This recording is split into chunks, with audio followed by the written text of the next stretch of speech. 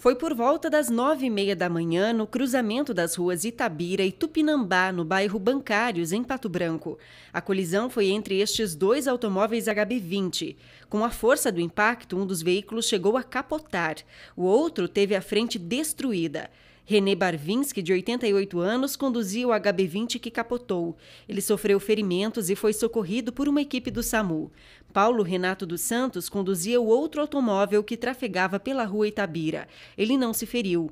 Policiais militares estiveram no local para o registro do boletim de ocorrência e outras medidas cabíveis. Alguns moradores foram até o local para ver o que estava acontecendo. Maria Cristina Felski mora no bairro há 40 anos. Conta que acidentes são frequentes nessa região. Como o fluxo de pessoas acha que o bairro é pequeno, é muito grande porque tem colégio para o lado de cá. Então as pessoas não param. E a lombada é muito pequenininha.